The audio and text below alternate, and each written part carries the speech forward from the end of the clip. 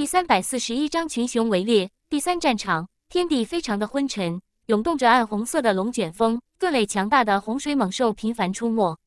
圣堡开辟的空间如同真实的景象，每一头荒兽都带着强大的威慑力，撕裂长空，齐刷刷扑杀传送到战场中的参赛者。这更像是一场追杀战，一些弱小的士兵被追得火烧屁股，哭爹喊娘，疯狂逃命。最后争霸战看似辉煌，但也无比的残酷。第一轮的淘汰率会无比惊人，更会出现不少的伤亡率。这一切都不是虚假的，一旦坠亡，预示着真正的死亡。大浪淘沙，军部筛选出来的是能独当一面的勇士，为未来的雄关培养一批顶梁柱。后，军天刚刚来到战场。还没有仔细观望四周，地平线尽头冲来一群强大猛兽，狰狞嘶吼着，煞气滚滚，向他杀来。这种考核对他太小儿科，数不清的目光也凝望着第三战区的灰发少年。许多人对他的战功榜头衔抱有怀疑态度，而现在正是验证的时刻。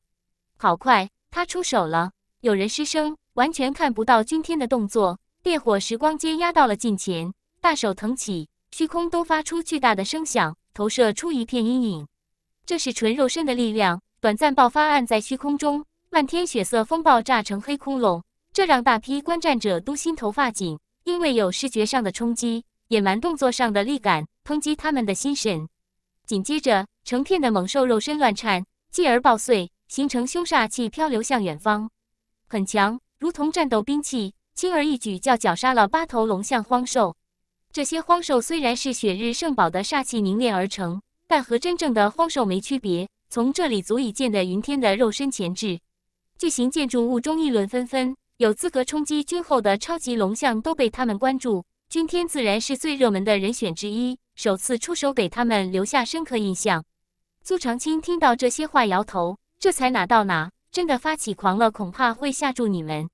当然，他闲不住，四处游走。想和一些富有的军阀强者对赌，不过这批人都黑着脸，根本不想搭理他。呜呜，昏沉的战场世界席卷着血色天风，远方世界震荡出更猛烈的风暴，密密麻麻的荒兽齐刷刷冲来了。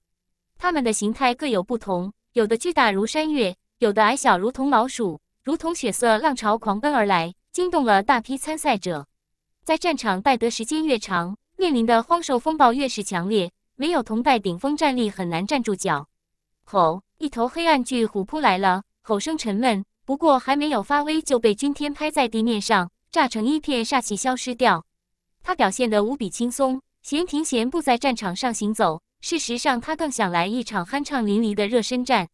徐庆在密室中通过虚空密宝观战，不由得想起了昔日在大草原上，他被金家强者追杀，今天扛着他极限奔跑的模样。曾经的他。还非常弱小，在龙象镜面前只能疯狂逃命，这让徐庆禁不住会心一笑。这种发自内心的笑容，自然美丽，浑身散发光辉，仪态万千。今天踩着行军靴继续前进，留意到一位伤损的女子即将被吞掉，果断出手震碎了围攻她的数头猛兽。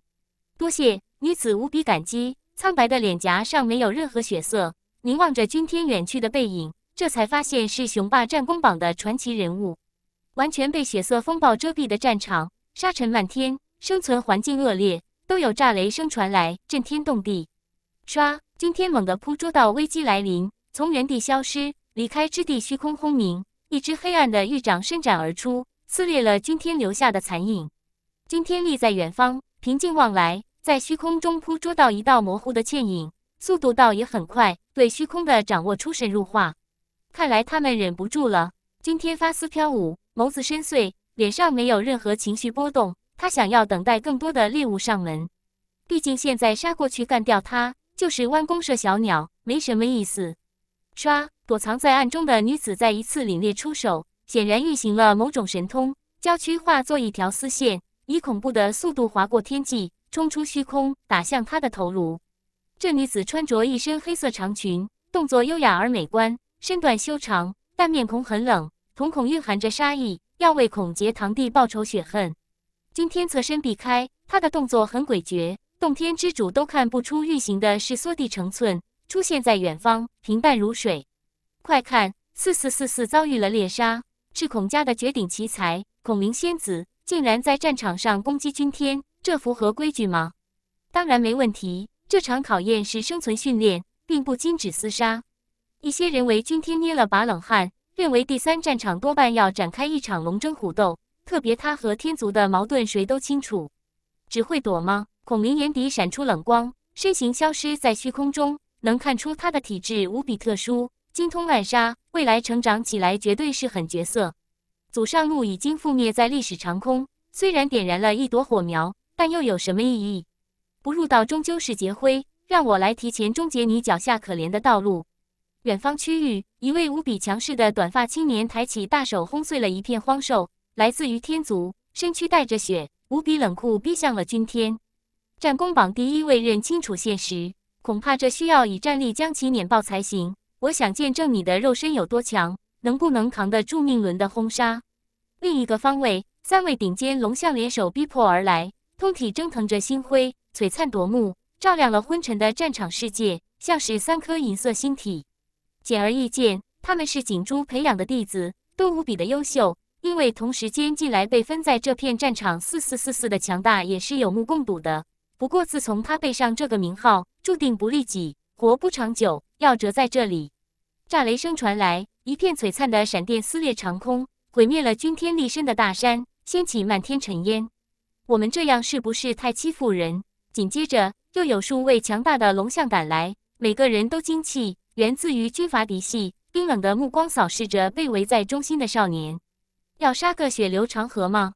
苏长青的眸子都立了起来。十三位金石奇才走来了，有王者霸体。有天平起源者联起手来，能组成恐怖风暴。君天屹立在天地间，深邃的瞳孔扫视四面八荒。他很平静，但巨型演武场的气氛无比紧张。更有人觉得这些军阀太明目张胆了。当然，历史上也曾经出现一群龙象联手逼出有希望夺冠的超级龙象。演武场顶层坐在这里的强者来头不小，要么是洞天之主，要么是军阀掌权者，要么是军部大佬。就这些人可以能代表整个人族核心层，联起手来可以调动关外大半的作战部队。当然，多数都和祖上路的恩怨无关。张远山突然到来，坐在天俊德身边，抬起手按在他的肩头上，惊动了周围的大人物。嗡！天俊德双目大睁，通体涌动出大道神威，摄人的瞳孔盯着张远山，一身可怕的战力都迎来了复苏。张远山、孔家这些势力的强者站了起来。他已经数千年没有离开过祖山，没想到现在亲自赶往雄关。真的认为君天可以崛起吗？可以为祖山一脉证明。对于这位被誉为史上最废的老师，各大军阀的强者都不待见。可没想到他刚来就说出了这句话，要挑战天俊德。张远山的手掌如同苍龙，始终按着天俊德的肩膀头子，满头披散的发丝乱舞，露出一张如同神魔般威严的面庞。他的眼神如同凶龙。扫视这里所有的人，锦珠他们莫名的心寒，脑海中不由得闪出三千年前张远山威震天下的场景。曾经的护道者和天老是同时代的人物，怎么晓得现在就来打一场？张远山眼神冷酷，看起来不像是老人，眼神像是天刀割在天俊德的面孔上。我觉得你行吗？天俊德目光冰冷，他是什么样的存在？天族的族主，战力已经逼向了顶尖序列。但是张远山一口一个晓得，还在他面前自称老子，这要打了才知道。张远山始终按着他，不让他站起来。周围的大人物心惊肉跳，莫非张远山寻到了圣药，延续了寿元？特别根据某些传闻，张远山没有废掉修行，踏上祖上路。如若是他的鼎盛时代，雄关没有几个人可以挡得住他。我说张远山，你一大把年纪跑到这里来砸场子，是什么用意？天族一位老古董出现在顶层，冷悠悠的眼神扫视张远山，有些看不出他的深浅。什么砸场子？我来指点指点小德的修行，难道还有错？张远山语气淡然：“你简直太放肆了！”天俊德疼的一下子站起来，想要出手抽在张远山的脸上，让他知道现在的时代已经不属于你了。住手！天族的老古董走来拦住，禁止他们争斗，担心张远山豁出命把天俊德拼成重创。那可就得不偿失了，真没意思。天老在怎么地方？我想和他比划比划。张远山扫视四周，孔家这些势力的强者纷纷避开他的眼神，心里暗骂：这个老不死的怎么还活着？一向强势的景珠不说话了，担心被张远山一巴掌给拍死，到时候找谁说理去？天俊德的脸色冰冷，但该族老古董的话需要慎重考虑。他毕竟老了，而自己还年轻，真被他拼成重创不值得。这里有些冷场，远方的旁观者心惊肉跳。张远山还是张远山，震慑力还在。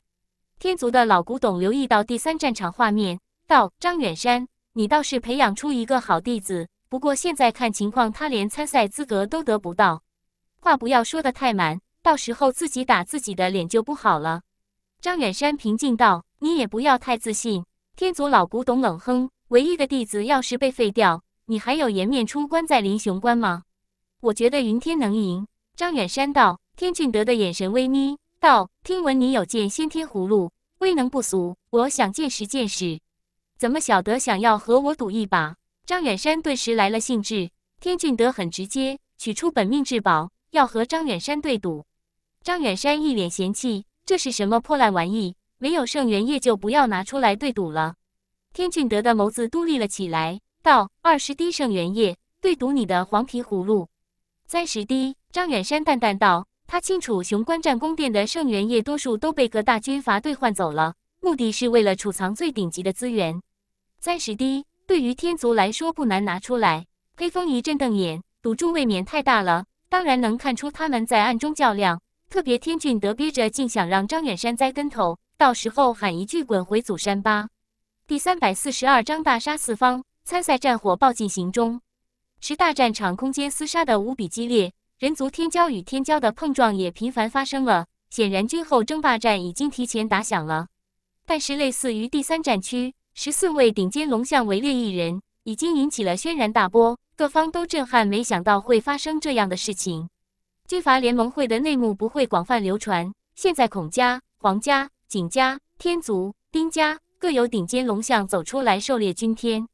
然而，让人颤栗的是，又有数位顶尖龙象赶赴战场。彻底引爆了军后大战，太疯狂了！云天的对头太多了。听说云天放话要横压现实路，从而激起各大军阀不满，是不是因此引发的？不至于，除非结下了血海深仇，否则这些顶尖龙象都傲气无比，岂能放下脸面联手围攻一人？第三战场已经沦为焦点，各方瞩目。当然，他们更想见证祖上路的极限战力，更想知道君天是不是投机取巧才打下了第一。你们太过分了！一位白衣少年冲来，面孔黝黑，远远看去如同大黑牛，口鼻喷涌黑暗神光，冲向了战场，吼道：“云天大哥，我来助你！黑皮，你想要陨落在这里吗？”孔明他们都被激怒了，不想和药王谷交恶，可黑皮就这样不计后果冲来，显然站在了君天这方，救命之恩岂能不报？黑皮发出这样的吼声，自从离开战场，他一直在药王谷养伤。现在看到君天遭受厄运，岂能坐视不理？这里没你的事。君天看了眼黑皮，说道：“退到战场外面看着就行。这一群土鸡瓦狗还不至于压制我。”黑皮面容古怪，君天的底气太大了。二十位顶尖龙象围攻而来，他竟然毫不忌惮。你简直狂妄的没边！还知道自己姓什么吗？天族的英杰勃然大怒，眸子射出数尺长的冷电，通体天威浩荡。喝道：“你以为祖上路真的无敌了？你以为拿下战功榜第一就可以无敌天下了？就你们这些吊梁小丑，没资格和我说话！”君天不屑道：“连起手来围攻我，已经证明你们不行，怕了，没有资格做我的对手。”天族英杰大怒，要走上去和君天过过招。不过孔明将其拦截，君天故意为之，显然惧怕了局面，想要一一击破。无妨，我就出手一次。天族英杰对自身的战力还是无比自信的，他说道：“我有信心将他震伤。不过此人的步伐古怪，你们一定要严防四周，千万别被他给逃了。”一招，孔明他们相互对视，全部都点头了。一次巅峰碰撞也能看清楚君天极限战力。天族英杰向前逼来，他名天海，人如其名，通体神力滚滚，犹如狼烟，贯穿霄汉，脑后天品命轮显化，专属于天族的命轮。承载天威，汹涌浩荡，洒落炫灿的神芒笼罩天海的机体，透发着沉重威压。云天，你若是可以接我一招不负伤，我现在就掉头离开。天海目光冰冷，天族的人都无比强势，认为他们的潜能仅次于仙人洞的弟子，脑海的命轮画出恐怖的痕迹，勾勒出巨型天刀。你恐怕走不掉。君天向前走来，拳头绽放宝光，向前轰了上去。天王斩，天海怒目圆睁，命轮笼罩肉壳，刀芒滚滚万众，极致释放都投射出天刀降世的意象，勾勒出血量巨刀斩向君天的头颅。咚！君天挥拳，看起来并不快，也没有天海这般霸气。这让观战者大失所望，觉得君天名不副实，要在天海手下吃苦头。轰隆！然而他的拳意猛地轰穿了天刀将士的意象，龙拳爆发，蒸腾出金色神芒，刹那间击中天海的肉身，打爆了漫天刀芒。什么？一招破灭了天王战？真龙九是真够强大的！孔明他们心头一跳，眼中更多的是杀意，认为君天有资格争霸君后。天海，你刚才已经说了。输掉了，直接离开，不要食言。黑皮在旁边提醒，很担心君天的处境。孔明蹙眉，天海虽然不是天族的超级龙象，更没有天王体，但他神力超强，一旦离开，必将失去强大元首。有人走上去要挽留天海，斩杀君天才是首要任务。天海，你怎么了？有人巡视着沉默不言语的天海，很快大惊失色，发现他的身躯齐刷刷崩裂。五脏六腑清晰可见，但都布满了裂痕。他感到恐惧了，这是什么力量震碎了他的肉壳？特别是下一刻，他引以为傲的命轮紧跟着炸开了。怎么可能？孔明他们花容失色，命轮破灭，身躯残躯，天海瘫痪在地上，恐惧发抖。他还活着，但他的修行全部被废掉了。那是怎么可能？演武场大批观众头皮发麻，一招都要震碎了天海，似乎还没有尽全力。这有些匪夷所思。天俊德把手中的茶杯险些捏爆了，脸色变得阴沉，眸子一瞬不瞬注视着第三战场。这个结果让他太意外了。天品命轮被一拳击穿，联手镇压他，不要和他近距离触碰，不要和他的肉身碰撞。第三战场狩猎军天的十九位顶尖龙象脸色难看，命轮全部开启，释放出磅礴的生命精气，淹没天地。这十九位顶尖龙象极致爆发。连起手来，法力贯穿苍穹，都形成了怒海浪潮，让站在边缘地带失神的黑皮都颤栗。杀！他们齐刷刷大吼，恐怖神力撕裂虚空，要一个照面粉碎君天。轰隆！这片战场全面被神光淹没了，四面八荒逼来的强大荒兽被搅成粉碎，能量都形成了海洋，都要毁天灭地。君天的身影顿时模糊了，很快在战场上寻不到。有人觉得他被禁锢了。也有人觉得被震死了。就在黑皮准备出手的时刻，被一种极致压抑的波动给触动了心神。吼！君天在毁灭狂潮中仰天大吼，毛孔冲出了滔天的霞光，震动了战场大地，如同不朽的圣炉在熊熊燃烧。天霞圣树爆发了，君天发丝乱舞，气吞河山，通体圣光炽盛，口鼻都吞吐出翻天覆地的能量体。这时，正在观战的丁阳荣一下子站了起来。脸色非常的难看，不是说君天仅仅修成了真龙九式，为何现在还掌握天霞圣术？轰！君天打开满身命轮，释放出鼎盛的生命能量，漫天的圣光熊熊炽盛，撑开了生存空间，抗住了大风暴。不要保留，动用神通将其抹杀。十九位龙象大惊失色，他体内储藏的生命能量太旺盛了，压得他们都有些窒息，更觉得被圣光割裂了面孔。你们算什么？都给我纳命来！下一刻，他璀璨的身躯划破战场长空，强势撕裂封锁，扑杀到猎物群中，举拳杀向锦珠门下的三位杰出弟子。快镇压他！这三位很明显被吓住了，大吼着示警。但是任由各方龙象打出的能量再强大，始终无法攻破天霞圣术。轰！圣光翻腾，防御力举世无双。君天挥动的拳头吞吐苍龙，磅礴而大气，压在三位锦珠弟子心头。带给他们可怕的压力，这是什么？他们有些恐惧。君天的拳印攻来，压得他们的生命体征都在剧烈，快要承受不住断裂，口鼻都在流血。混账杀！十几位龙象发狂，祭出各种神通打上去，能量风暴汹涌了一大截，攻破了一层层圣光，临近君天的肉身，欲要将其磨灭掉。但很快他们发现残酷性的现实，锦珠培养的三位杰出弟子扛不住了。璀璨拳印都要撕裂虚空，这一拳霸绝天地。三位杰出弟子恐惧哀嚎，他们挡不住，一切都被压制了。神通都难以运行，肉体如同被彗星击中，血淋淋的炸开了。啊，我的徒儿！景柱的老脸一片狰狞，他呕心沥血培养的三位杰出弟子，竟然被君天给轰爆了，这让他的心头都在流血。各族的强者都惊骇无比，君天堪称巨型冷兵器，发起狂来谁都挡不住。君天也负伤了，被联手围攻的能量打得身躯摇动，但他的身躯无坚不摧。都蕴含超强的反震，称得上人形凶兵。纳命来！孔明再一次从虚空中钻出来，挥动素手扫向君天的面孔。就你这三脚猫的功夫，刚才不拍死你，你还真以为你是个人物？君天立在天地间，挥发乱舞，眸如冷电，发出一声大吼，口鼻溅射音波，无孔不入，攻破孔明的娇躯。啊！孔明的身躯猛地僵硬，发出一声无比痛苦的哀嚎。他觉得五脏六腑有沉睡的巨龙在转醒，睁开了恐怖的瞳孔，齐刷刷的吼笑：“快回来！”有孔家的龙象都在发抖，想要将呼唤孔明撤出去。但是君天又发出一声大吼，龙吟震世，孔明流血的娇躯轰隆一下子炸开了，被吼成一片血雾。远方的围观者都在发抖，这简直就是无敌的魔主，无人可以制衡。第三百四十三章水雨争锋，今天浴血而狂。一吼之下，虚空体炸成一位美丽的仙子，还没有展开人生，就这样潇湘玉损，折损在考核战场上。数不清的观战者都在颤栗，这是什么凶人？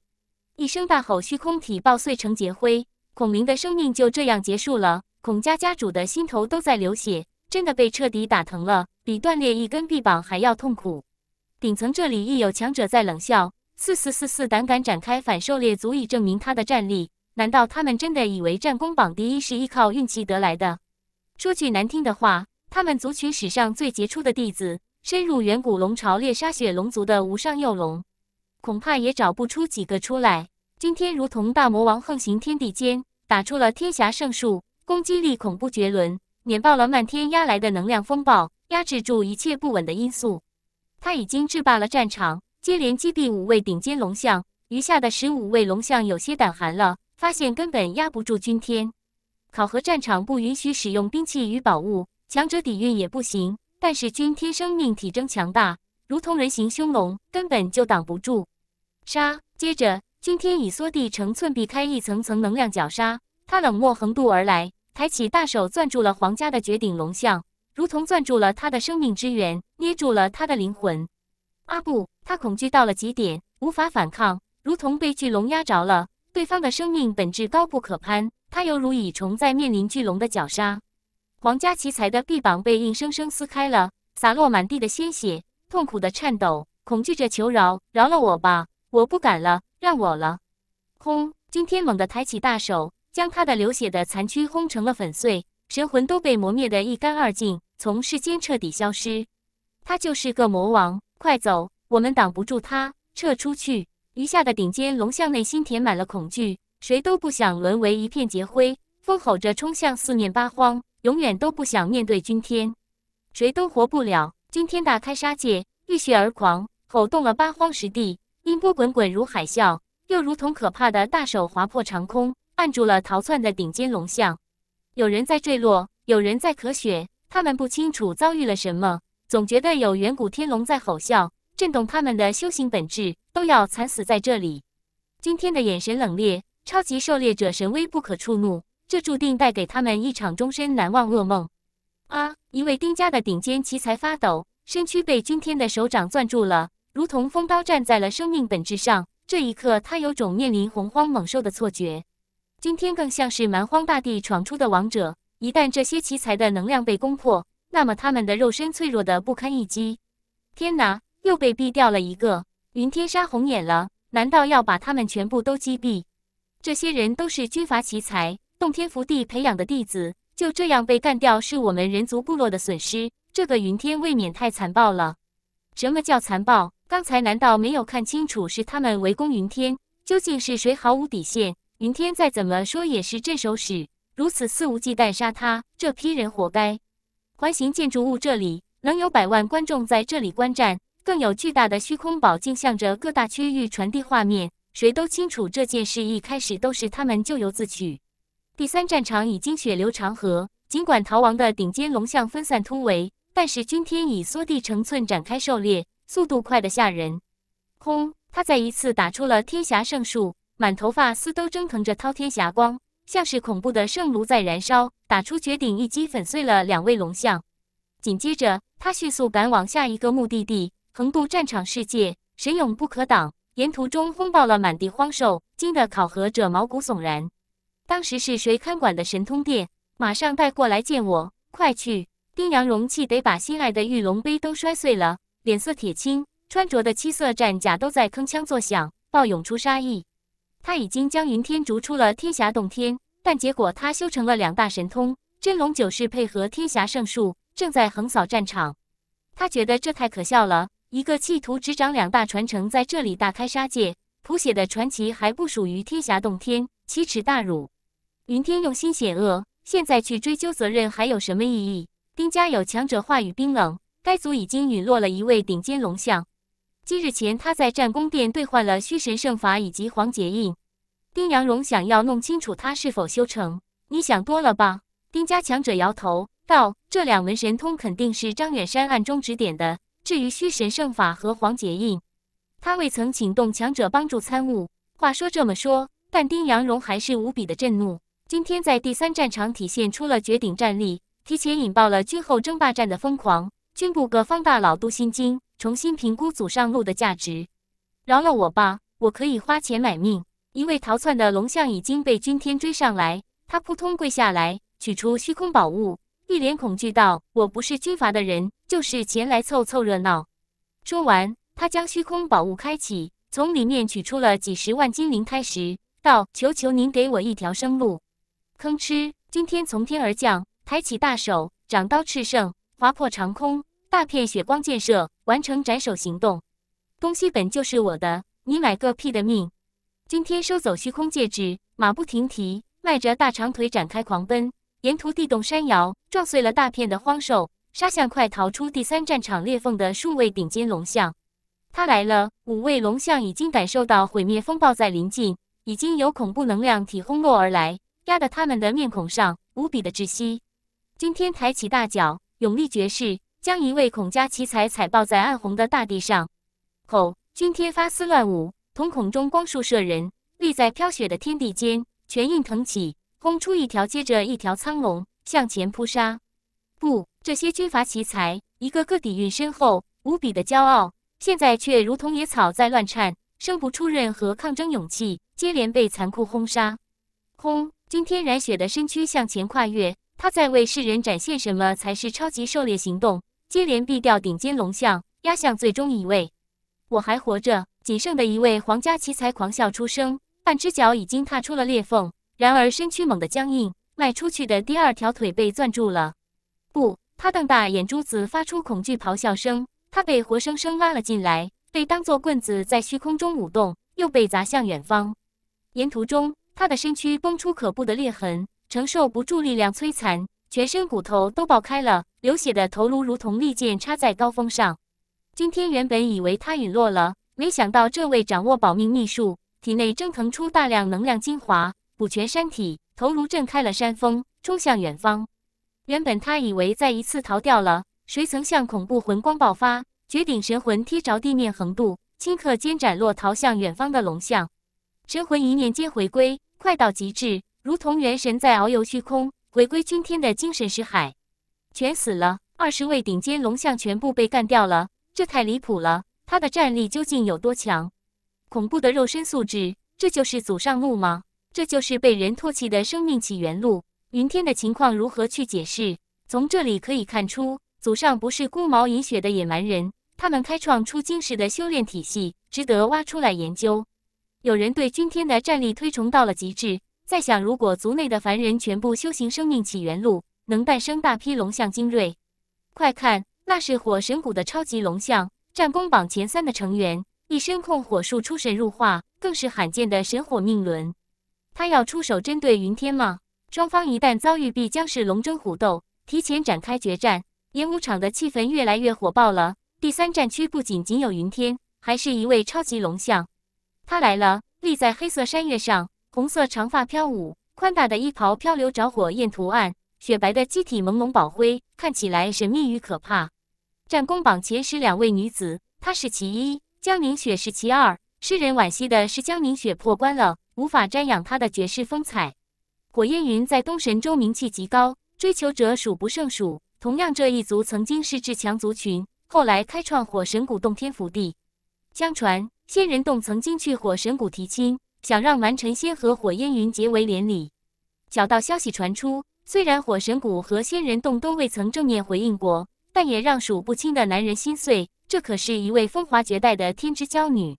今天早就发现了火烟云，从一开始他就跟着自己，目睹一切战役。现在看到他主动走出，君天迈步逼了上去，彼此间的眸光相互对视，已经有无形浴场浩荡而出，像是万众惊涛轰落而下。黑皮气喘吁吁跑来，很快被惊住了。这片时空如同有两口仙剑在交击，充满了让他窒息的压力，涌来的荒兽都匍匐在了地上。咔嚓，山川大地渐渐崩开了。大裂痕蔓延出很远，一座座山岳紧跟着倒塌，掀起了滚滚尘烟，遮天蔽日。小妞，你确定要阻挡我？我可不会怜香惜玉。君天神目如电，君后之争打生打死，任何人站出来阻挡都是他的敌人。第三百四十四章洗劫第三战区。小妞，黑皮瞠目结舌，怀疑听觉似乎出现了问题。火焰云身份尊贵，不仅是火神谷的圣女，更是火族这一代潜能最强者。未来大概率可以正上洞天之主。今天言语轻佻，显然没把火烟云放在眼里。不过转眼间想到刚才的大战，黑皮面孔透着兴奋，想要目睹君天镇压火烟云的画面。黑皮的笑容无比的猥琐，最好能拖到山洞里来一张真刀真枪的硬仗。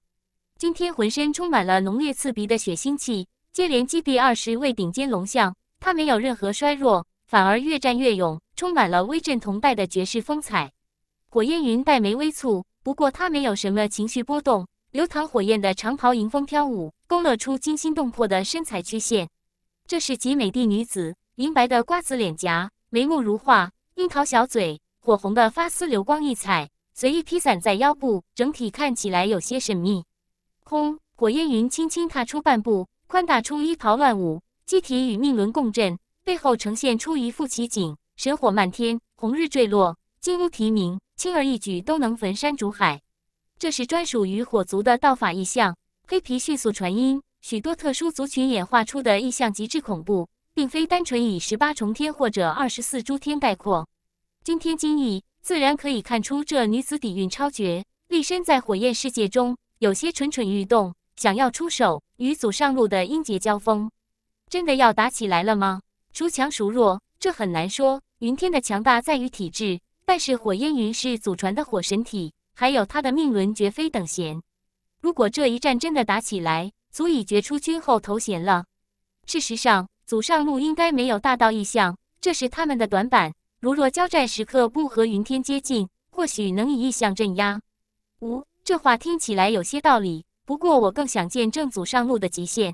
第三战场的变化触动观战者的心灵，一场惊天动地的超级狩猎刚刚结束。两位极致辉煌的超级龙象又对上了。轰！今天向前走来，震动了火红国度。强健的体魄带着可怕的生命威压，俯视着火烟云。场中的气氛已经压抑到了谷底。火烟云的美眸充满强烈的战意，想要与君天较量较量，认真体会生命起源路。因为他得到了小道消息，江凝雪曾经修行过生命起源路，从而导致他的肉身无比强大。当然，紫云了解的更多。江凝雪能有现在的成就，和龙首峰上云雾山庄中的北极残脉有最直接的关系。紫云时常腹诽，当年打晕他的恶棍夺走了龙脉造化，又将他给扔到雪洞里，抱着雪熊睡了一宿。想一想都来气。罢了，擂台一战，火焰云突然间转过身，他不想置身于风暴中，想要在擂台上堂堂正正一战。这能代表退让了吗？这件事带给世人强烈的冲击。一代天之娇女抽身离去，是刻意避开君天的锋芒，还有因为其他的生命原因。快看，第六战区的大战也无比激烈，还有第八战区银圣号的桐树太惊世，邓列了仇家族中的顶尖龙象。这是什么样的桐树？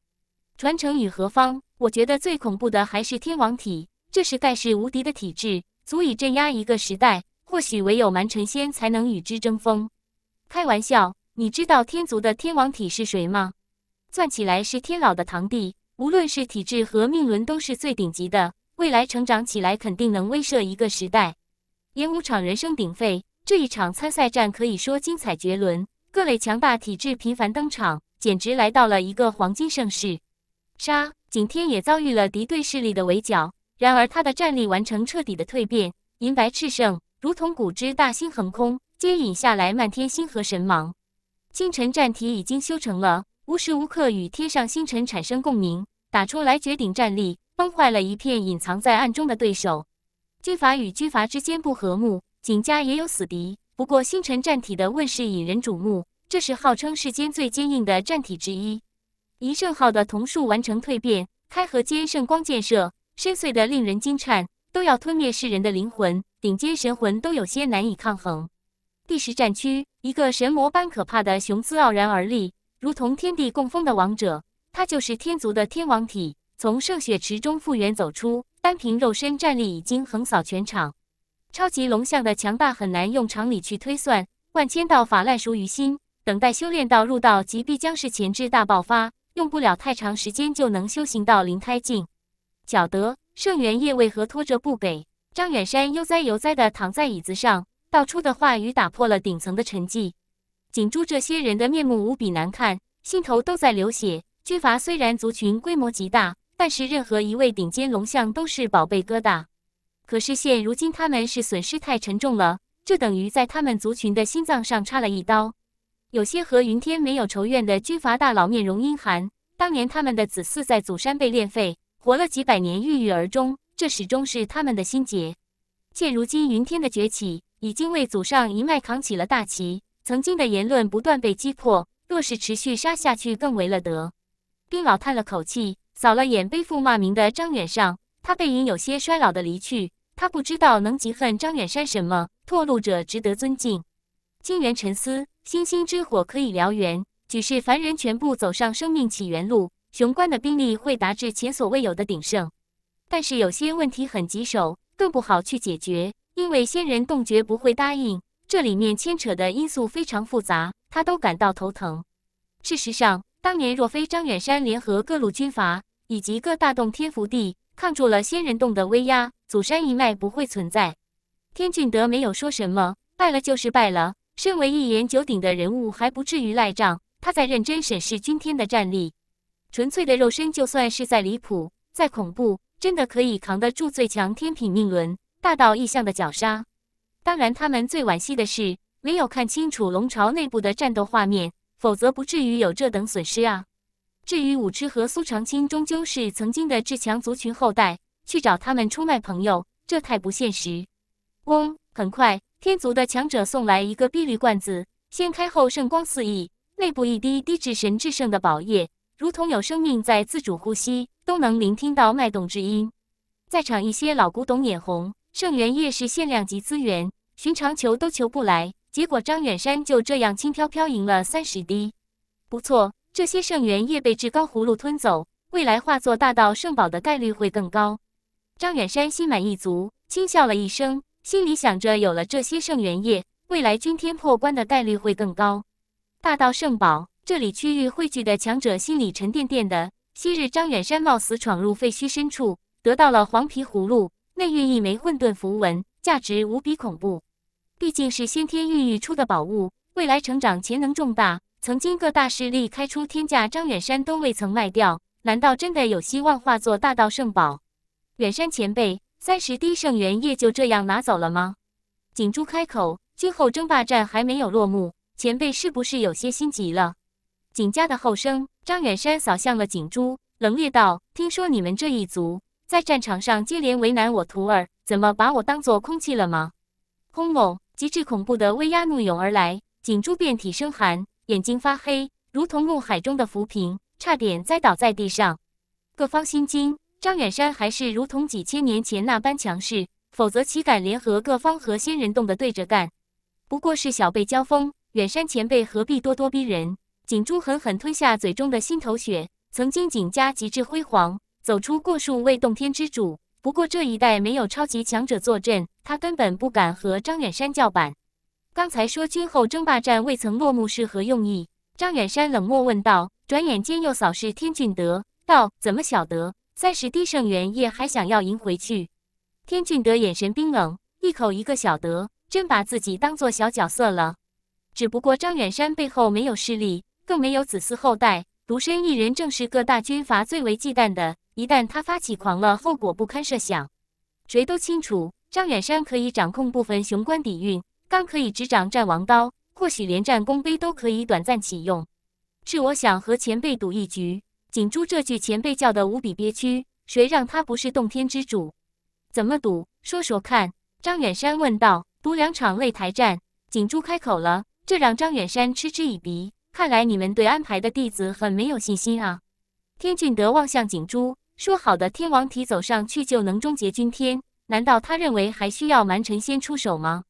景珠传音。让景天上去。星辰战体乃是世间最坚硬的战体，可以逼出君天的鼎盛战力，为天王体提供参考经验。天俊德眉头微皱，他觉得不需要天王体压上去，足以横扫一切。毕竟是至强族群的后裔，九千年来更沉睡在圣血池中，以物质滋补生命活性，保持最巅峰状态。不过转眼间想到刚才的惨败，天俊德为了以防万一，觉得可行。景珠想要黄皮葫芦。他太渴望弄到一口超级大杀器镇守族运，但该族的圣元液有限，以其他奇物补偿。六十滴圣元液对赌，天俊德不想让张远山带走一滴。天族有能孕育圣元液的古老矿区，家族的存货倒也充足。六十滴圣元液，一些老古董都被吓住了，这赌注有些疯狂了。不过他们明白，圣元液在雄关每一滴都需要一千万战功，但是对于天族来说谈不上大出血。看到张远山没有迟疑，天俊德的眸子都立了起来。他就认定祖上路能在龙象领域无敌天下吗？你们快看，四四四四在干什么？他活捉了一批军阀嫡系，索要保护费。孔家这些族群倒血霉了，一批有资格冲向前一百的成员，就这样被掀翻，连同其他的族人都跟着遭殃。第三战区正在上演大事件，绝对是爆炸性的消息。更有人觉得大快人心。自古以来，军阀高高在上，蛮横霸道，在雄关更是拥兵自重。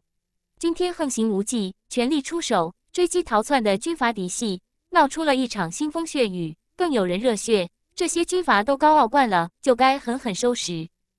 第三百四十五章横行无忌大消息：四四四四再一次雷霆出手，挖出一群藏在山洞里的孔家嫡系。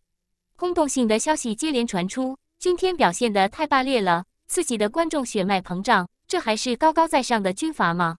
孔玄的眼睛都立了起来。堂堂孔家乃是顶尖军阀，麾下佣兵几十万，但是现在他们的杰出后辈竟然集体藏在山洞里成何体统？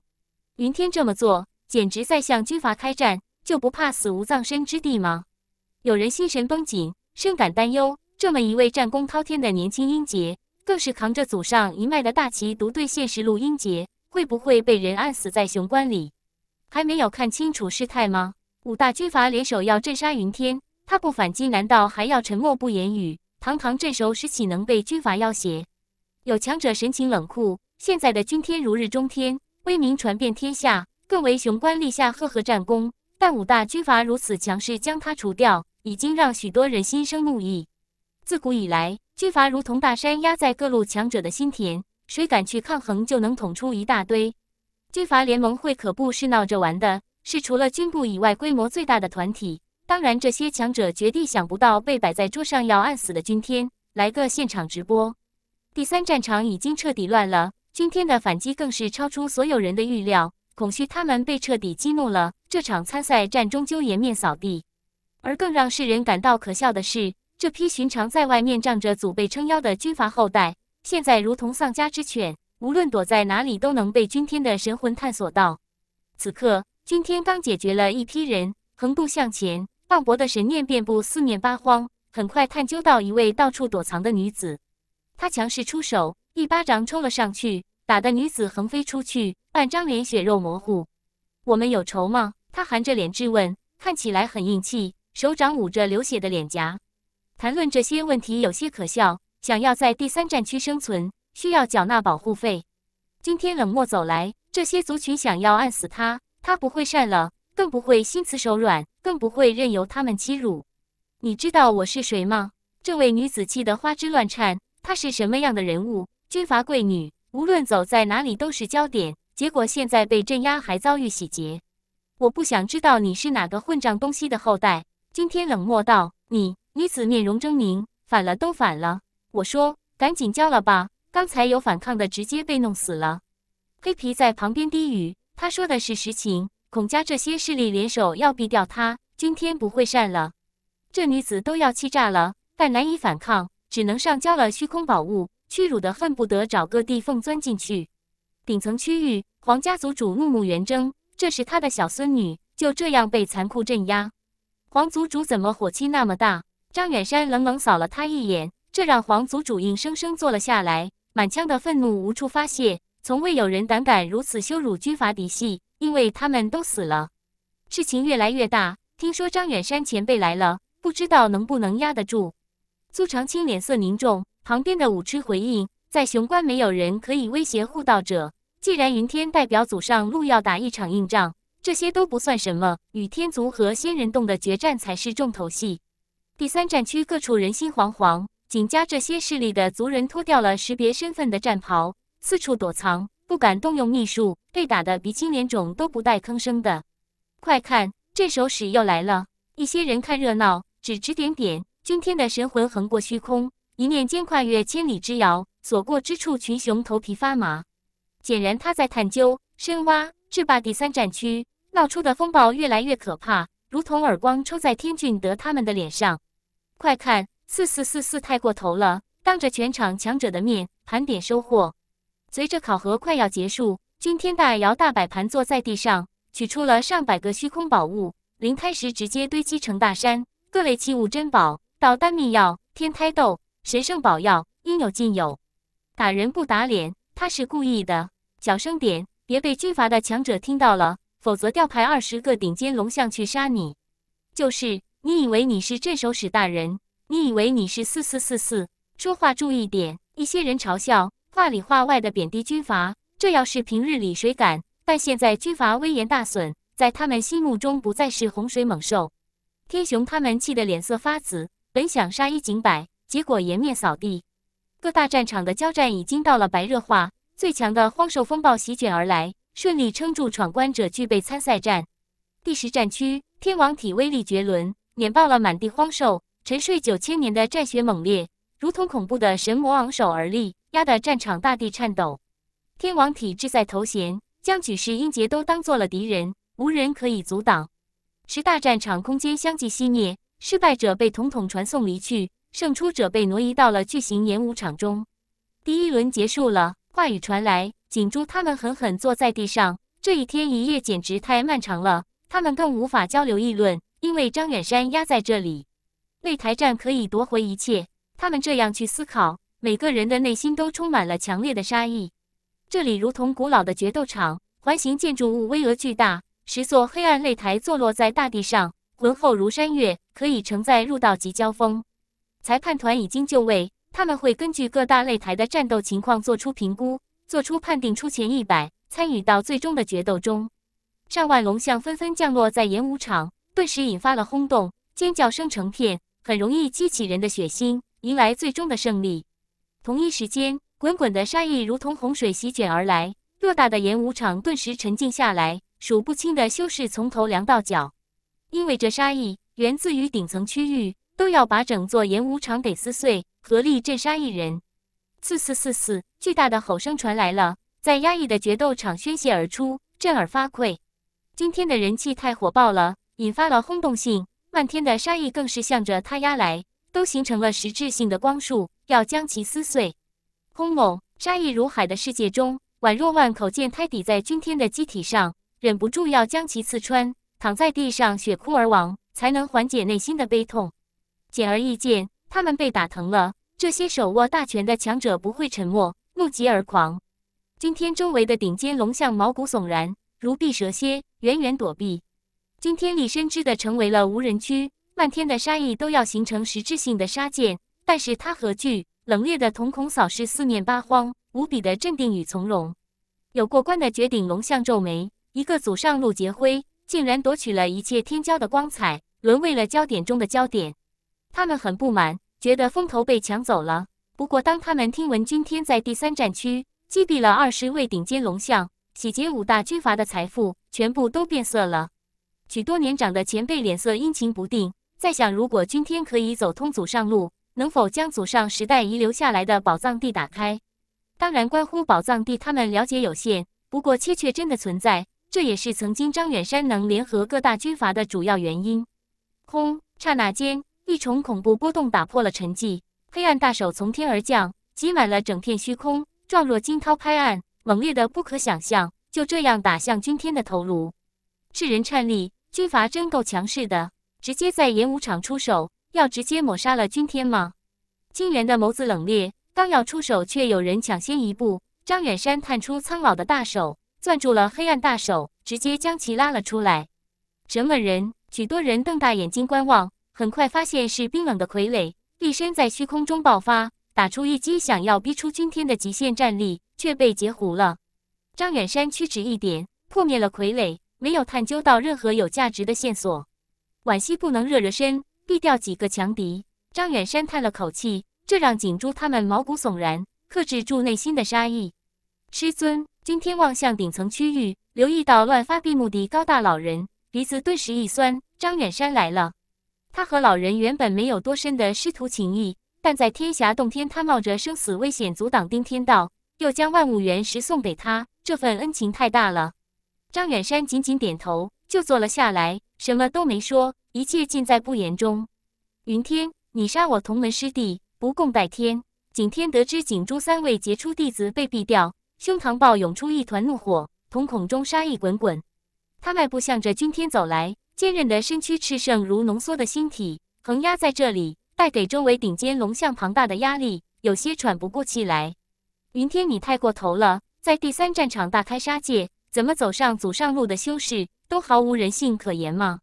孔家走来一位绝顶龙象，披散的发丝狂乱舞动，眸子中冷电四射。体魄无比强大，与当年孔王是相同的体质。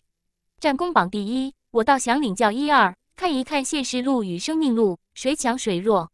又是一位重量级的龙象走出，浑身充满了浓烈的战意，与君天没有什么恩怨。不过祖上路横压一切的言论让他无比的不爽。短暂时间，十几位年轻英杰齐刷刷走出，顿时引发了轰动。还没有开始，已经强敌如云。师弟，这是要举世皆敌了吗？张大炮的脸色凝重，不断有人站出来凑热闹也好，与祖上路碰撞也罢，接下来注定是一场生死大碰撞。其中，天王体引人瞩目，他雄姿高大，古铜色机体，虽然没有神威散发，但站在这里如同不可逾越的沉重大山。演武场哗然一片，这还没有开始，已经酿成这等风暴。看来云天册封君后的道路上，注定是无比艰难与曲折的。讨论人性。先摸一摸你们的良心，都做过什么？今天淡漠的话语传遍全场，他依旧是焦点，没有什么可畏惧的，直接走向擂台。很多人头皮发紧，四四四四当真强势无比，面临这等举世皆敌的局面，还能主动走上擂台，莫非已经养成举世无敌的信念？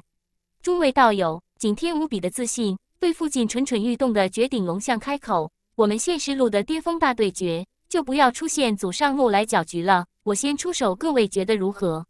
你不行，换个人吧。今天很直接，不是他看不上景天，区区星辰站在他眼中算什么？根本承受不住他的战力。他现在想为世人展现什么是生命起源路。第三百四十六章暮雪激荡。景天穿着银色长袍，立在原地，看起来非常冷静。显然他对星辰战题很有信心，认为可以横压同阶龙象。擂台上传来冷漠的话语。瞬间激怒了景天，身躯炽盛如星体，闪烁银辉，带给同阶龙象无比迫人的压力。一些人都被震退了，更多的人惊骇君天的话语，上来就是就这样点评：是太过强大，还是过于自负了？景天是什么样的存在？毕竟养成了星辰战体，一跃成为最顶级的天骄，先天立于不败之地，难道还挡不住君天？看来生命起源路把你的脑子都修炼坏掉了。景天面容冷冽，喝道：“当然，或许在他的心目中，祖上路才是真正的无敌，现世路不过是陪衬罢了。呵呵，你很快会为你可笑的想法付出沉痛的代价。预祝道友凯旋而归，孔家这些奇才在这里提前道贺。擂台之争，极限之战，一个不慎都会决出生与死，在这里谁都不会退让，拼尽一切胜出才能赢的威望。景珠暗中传音，防御为主，将君天的极限战力全部逼出来。景天皱眉，他认为可以压得住君天。星辰战体不单单是坚硬。竭尽所能爆发，接引群星之力，攻伐力无比霸烈。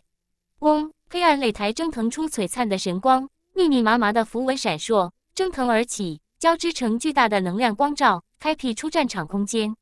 要开始了，最热血的时刻终于来临！哈哈哈！我认为祖上路的肉身与星辰战体的厮杀绝对是最顶级的，肉壳力量的较量才更血腥残酷。顶尖的战体，古老的生命起源路，孰强孰弱？我不敢妄加评论，很快就能揭晓答案。一些人在议论，场面的气氛倒显得非常压抑。这一战胜负真的很难说。景天登上了擂台，瞳孔中杀意四射，恨不得直接撕碎君天，将他的残骨砸在地上，溅射出一片雪花，染红自己的强者路。我倒要看看你能多硬，没什么可说的。景天直接爆发了，战体划破长空，银白炽盛，与君天展开肉身厮杀。刚出手就爆发了星空掌，巅峰争霸，看来短时间可以决出胜负。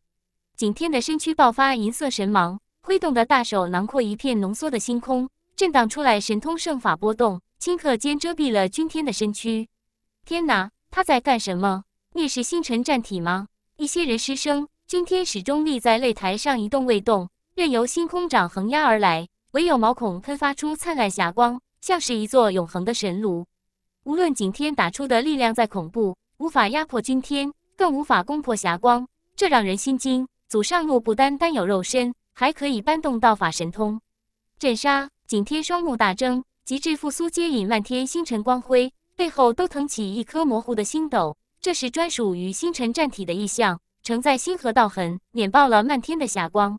你不行，让天王体上来吧。君天摇头，天灵盖吞吐的血光凝练出一头苍龙。昂首吞吼，力大无穷，硬生生挡住了压来的星斗，无视异象的磨灭。很多人失色。君天看似平静，但是体现的无比霸气，自始至终连脚步都没有移动，显然没把景天当回事。天王体扫视着君天，寒光乍现，冷得刺骨。沉睡的战雪有些蠢蠢欲动了，胸膛呼吸间发出炸雷声，像是休眠的巨兽在转醒。周围的人惊骇，天王体的肉身更为可怖。纯粹的肉身之力力大无穷，足以生撕史前巨兽。景珠的脸色无比难看，这算什么？今天像是立在擂台上教育孩童，这太耻辱了。下来，景珠传音，再打下去已经没有任何意义了。我再发动一招。景天彻底暴怒，眼眶子都红了，体内传递出古老的诵经音，大周天星辰经运动起来，与星辰战体产生可怕的共鸣。都说了让你下去。别在这里自取其辱！君天冷漠警告：“混账！”杀！景天的胸膛差点炸开，无尽的怒意填满了胸膛。圣品经文接引漫天群星之力，囊括到肉壳中，气息汹涌一截。很多人都觉得不可思议，如此超强的战力，难道威胁不到君天的根本？轰隆！虚空都被全方位震动了，巨大的擂台都在摇晃，真的如同宇宙大星横压而来，压在君天的面门上。徐夫人短暂犹豫，传音君天，告知云溪在星空神池面临的遭遇。什么？君天的双目倏地大睁，瞳孔炽盛如骄阳，充满了可怕的杀意，满头的发丝都倒竖，忍不住仰天大吼。他怒了，透出裂天的杀意，毛孔冲击出无穷无尽的圣光，淹没了整座擂台，真的如同天下圣炉在燃烧。什么？那是什么神通？数不清的观战者大惊失色。始终平静的君天不知为何被触怒了，正在仰天嘶吼，巨大的擂台都在颤抖。这不可能！丁阳荣勃然大怒，天霞圣术极致运行，君天背后呈现出圣炉投影，打出了圣宝异象，朦胧着圣威，欲要焚天。不好，快退下去！景珠面皮颤抖，真的有些恐惧了。君天已经彻底发狂了，如同跨越战场而来的魔主，怒踏的擂台都崩出蜘蛛网裂痕。杀！君天杀意滔天，拳印凶狂，霞光勾勒出圣炉，预示着他的愤怒已经飙升到了极限，锤爆了漫天星辰光辉，轰在星辰战体上，任由他无坚不摧。此刻开始颤抖。啊！景天感到无比的恐惧，这一拳太炽烈了，压制到他的五脏六腑中，生命本质被残酷击中，从而断裂。这一刻，他体会到自身的渺小与可怜，感受到生命本质的奥妙，都要废掉修为，转修生命起源路。不！景珠发出惊恐的吼声，冲上去要阻挡这一战，保全景天的生命。张远山什么都没说，抬起大手按住了景珠，让他坐在这里观战，不要搞其他的事。咔嚓！汹涌的拳印轰穿一切，震裂了景天的胸膛，心脏都炸开了，背后溅射出大片的血光。事实上，如果不是景天是星辰战体，君天这一拳足以将其磨灭成血雾，什么都不会剩下。轰隆！君天再一次霸裂出手，轰的景天残躯轰隆巨颤，小腹崩开了，鲜血喷射，肠子都流了出来，无比血腥残酷。啊！景天都要疼死，面对都似乎不是一个人。像是能杀尽一切的大魔王，将他搅成残渣的巨型冷兵器。这个敌人太恐怖了，粉碎了他的道心，悟出的大道都溃灭了，像是渺小的蚂蚁砸在擂台上，溅射鲜血。强大，极致强大。天王体做出评价，对于祖上路有了大体认知。然而这让他沉睡的战血在轰鸣，目光充满了冰冷的杀意。似乎这还不算君天的极限战力。一圣号的瞳孔扑捉到。今天的权势不仅可怖，更震散了景天的生命体征。就算他能活下来，也离死不远。这就是生命起源路吗？一拳头打上去，生命弱小者会遭遇最可怕的摧残。这是杀伤大树，一旦遭遇，就是你死我活。苏长青摇头，景珠只知道星辰战体无坚不摧，却不清楚君天最强悍的是肉身，特别他还没有打出万道体。砰！景天全身流血，骨头全面断开。他已经不成人形，发出无比恐惧的声音，精神意志都被影响了，又哭又笑。偌大的擂台世界鸦雀无声，什么防御力最强的星辰战体，弱小的如同鸡仔，脆弱的像是一块豆腐，未免匪夷所思。啊！景天，景家的强者疯跑而来，望着身躯残废的景天，失控咆哮。这可是他们族群未来的继承人，但现在被打成了痴呆，道心都被粉碎了。他们恨与狂。景家的族运注定要倒退几百年，残酷的现实难以忍受，爬上擂台都要把君天给活祭了。擂台上决生死，承受不住就不要来。君天的胸膛猛烈起伏，和景家彻底结下血海深仇。就算他们不来找自己，未来他也会登门。你好狠啊！景家的强者集体失控，到底有什么深仇大恨，竟然让君天以最残酷的手段将景天给废掉？君天的胸口起伏。原本他想看在景珠和云溪师徒情分上留一线，但是现在看来，大长老当年将云溪接引带走，图谋甚大，绝非真心实意栽培。景天就这样完了。刚才大批针对君天的绝顶龙象胆战心惊，不敢正视立在擂台上的影子，更不敢正视景天现在的惨状。他们真的有些喘不过气来，无比的窒息，坚韧无比的星辰战体都被打爆了。难道生命起源路真的肉身无敌？生命起源路倒是有些可取之处。忽然间，天王体走上了擂台，居高临死审视着君天，冷冽道：“云天，你的确很强大，不过你很不走运，遇到了我。九千年来，我的战体已经沉睡，我想看一看你能不能激活我的战体。说实话，我不想再休眠了。云天，尽你最大可能出手吧，否则你没机会了。跑出来拱火，你就不怕我一拳打死你？”君天挥发乱舞，眸如冷电。满腔的怒血还未曾消退。第三百四十七章镇压天王体。同样的话语再一次回荡在了擂台。景天已经惨败收场，天王体能不能行？今天的战力已经不许质疑。然而天王体说出的话更让他们懵逼。沉睡九千年的战体，我说怎么如此眼熟？原来他是天元，一位老古董师生。九千年轻横行天下的绝代英杰，不满十六就封疆。在当时叱咤风云，后来他失踪了，传闻他英年早逝，没想到还活着，看来一直被天族雪藏。原来是他，天元，天族绝顶天王体，更身怀最顶级的天品命轮。九千年的沉睡已经物是人为，但是他还非常年轻，未来有大好前程。老一辈的纷纷失神，同时代的人物相继作画，他们也大限将至，但是天元无比的年轻，这让他们羡慕的不行。张远山惊讶，曾经见过天元，是个非常出众的年轻天骄。一别九千年，竟然跑出来打擂台，看来君天和天族结怨极深。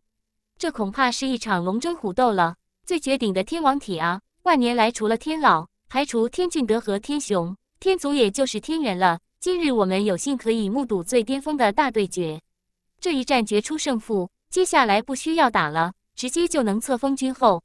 事实上，九千年前的古人完整复苏醒来，极具梦幻性色彩。老一辈的感叹天族的底蕴恒古恒强，并非没有道理。不要以为赢了几场就能横行天下。现实路的绝顶战力你还没有见过，天王体更是举世最强的战力。天王体双目大睁，话语看似平静，实则引发了惊涛骇浪。擂台轰鸣乱颤，漫天都是璀璨的音波，茫茫一片，巨吼震天。青色音波组成了一座巨岳，恢宏浩瀚，道法通神，轰落在君天的心田，彻响在他的精神识海。简单一击就能看出清源的强大，各类道法烂熟于心。一旦打开突破路，必将强势破关。吼！君天不甘示弱，一声长啸，天地皆颤，擂台猛烈摇颤，有人都怀疑擂台承受不住要崩碎。他的口鼻溅射金光，音波攻击看起来很简单，但却震碎了巨月，攻入天元的肉身，传递出天龙之音。天元的双目大睁，如瀑的发丝乱舞，古铜色的肉壳如神魔而立，发出第二声大吼，都震动了巨大的能量光照。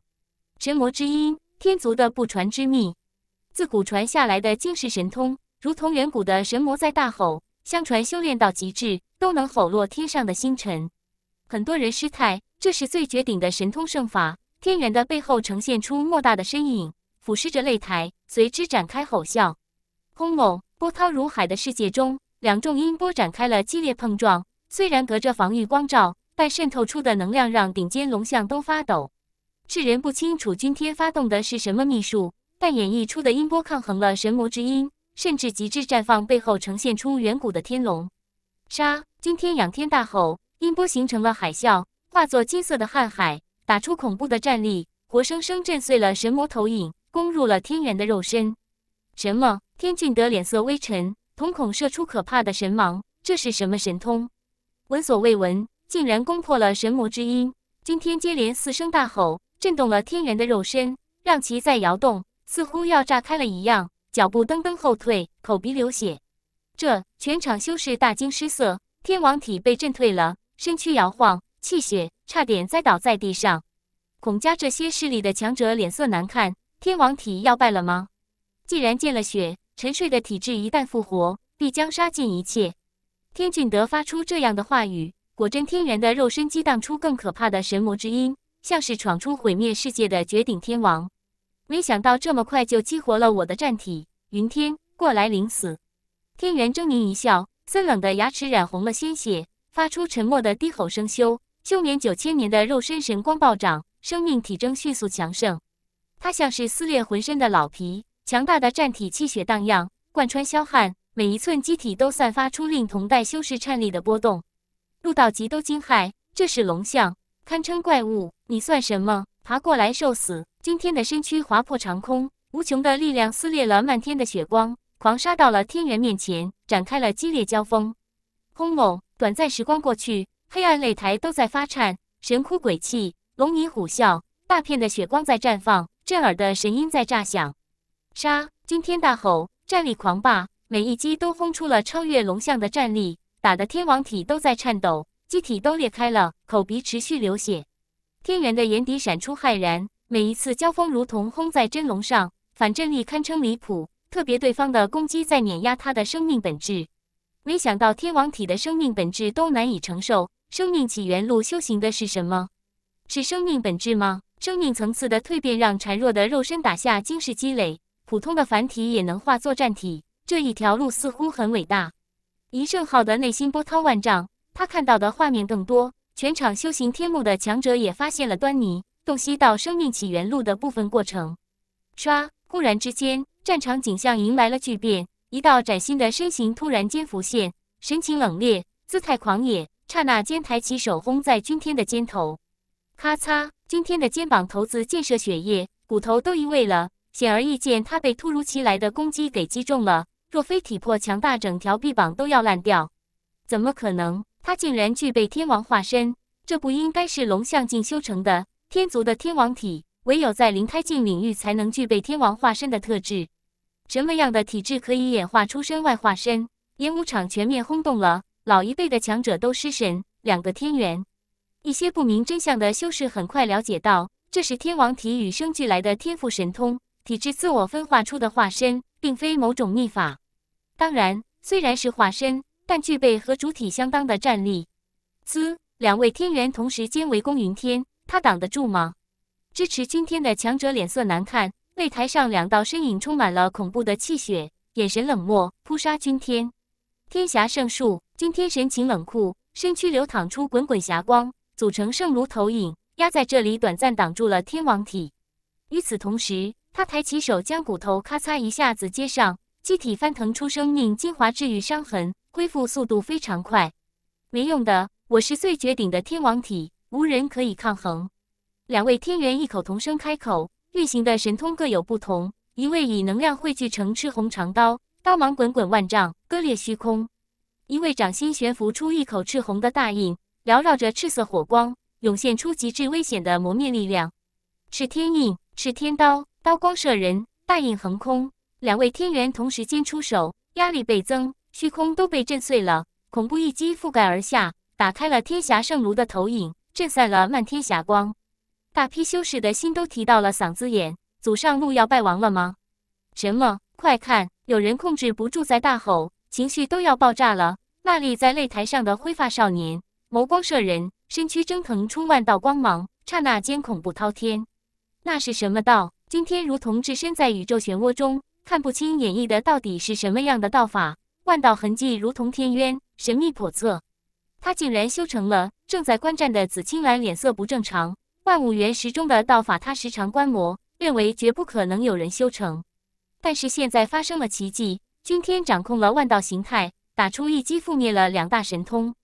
咚！君天举拳向前轰杀，体外燃烧万道火光。这一击勇力绝世，虚空同样崩出裂痕。天元的双眸大睁，洞悉到问题的严重性。君天的战体绝非表面上那么简单，全身都布满了道痕，散发入道即战力。天王合一。君临天下，天元果断重组两体，气势短时间狂飙了一大截，如瀑的发丝乱舞，拳头紫光闪烁，像是恢宏的大月压来。轰！两股拳印撞击，惊雷滚滚，擂台猛颤，彼此踏足之地的坚硬地面崩出大裂痕，很难想象他们的攻击力有多强。结果让天俊德脸色阴沉，天王体短暂合一才能打出无敌神威，但是天元被震退了，满身气血翻腾，口鼻流血。怎么会这样？天族的人从头凉到脚，他们引以为傲的天王体，竟然挡不住发狂的君天。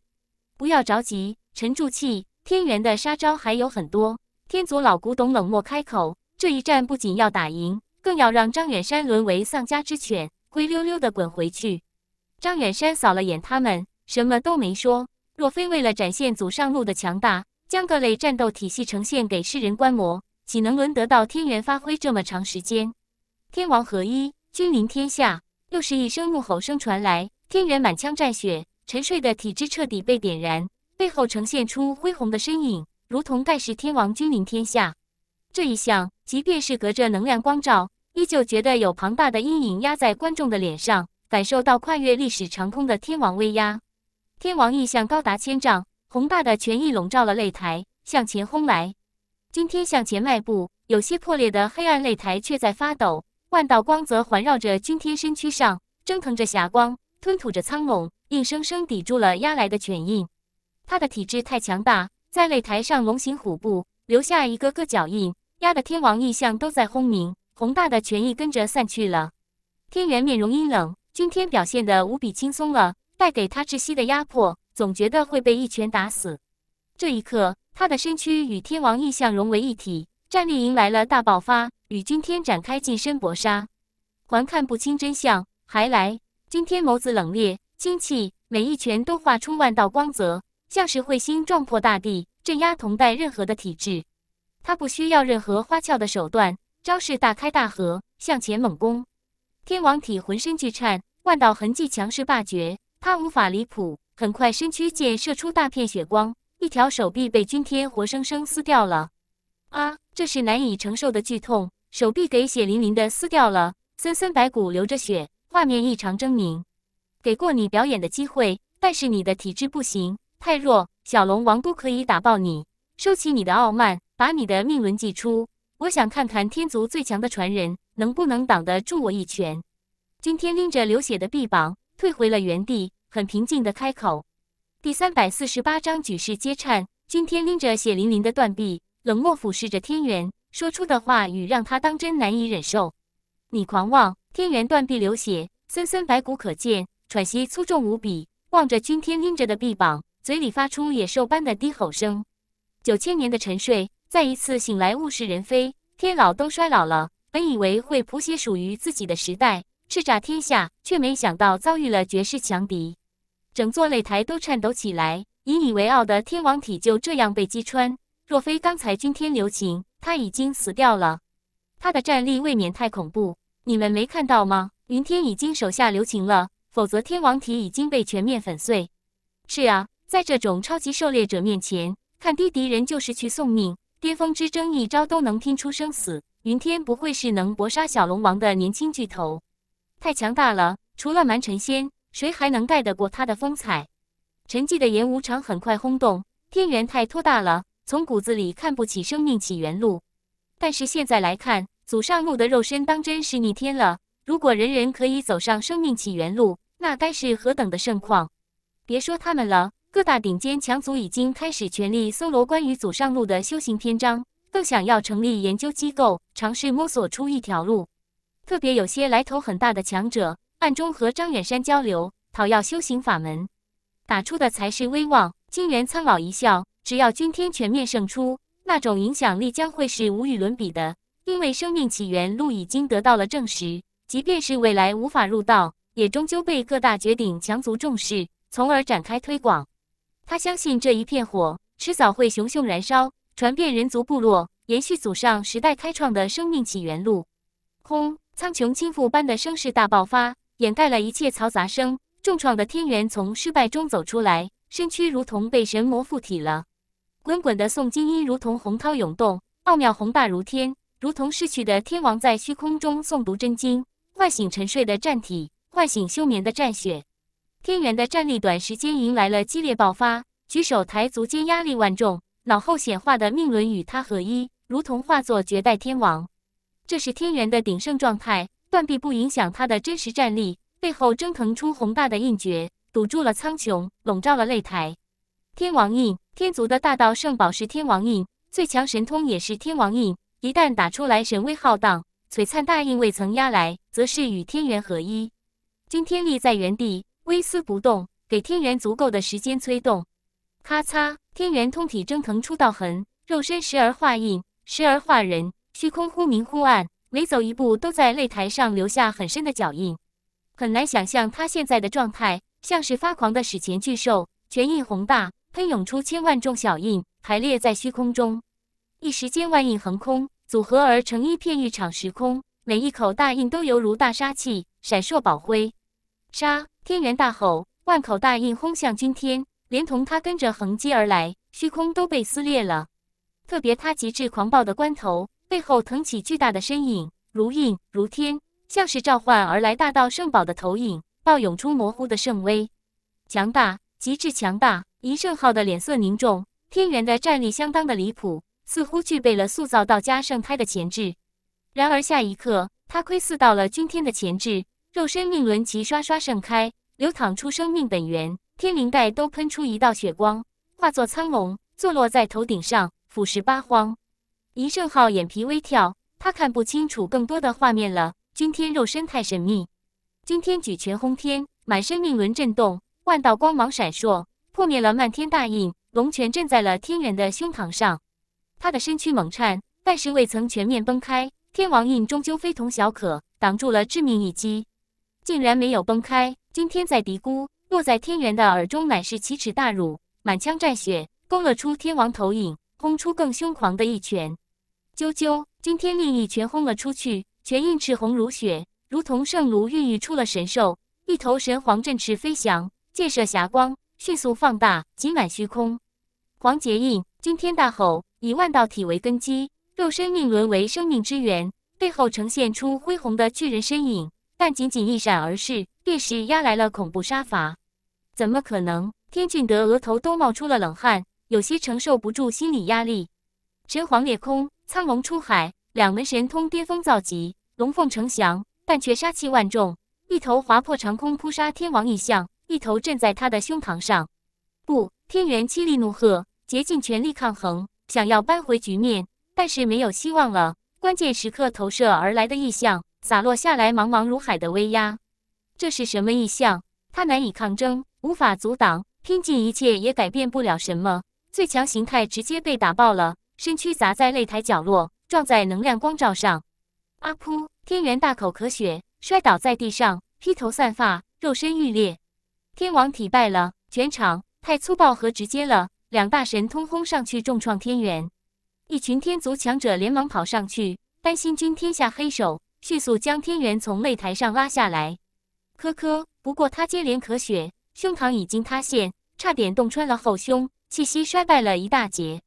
一些人惊骇：沉睡九千年的战体复苏出关就这样落败了？倘若再进行一个回合，他很可能被君天给直接打死。祖上怒肉壳无敌，还需要质疑吗？演武场的气氛变得古怪。有人敬重，有人惊叹，有人嫉妒，有人散发杀意，局面一时间无比压抑。所有的风暴都涌动向立在擂台上的灰发少年。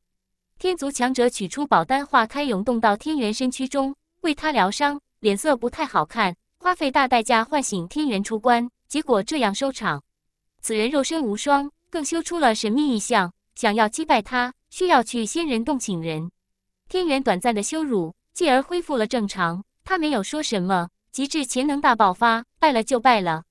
咔嚓，雄关一座宏伟的行宫中，天老银发如雪，金袍加身，如同老仙翁正在提笔画画，每一击都画出深邃的大道法则。但在这一刻，手中的金笔断裂了。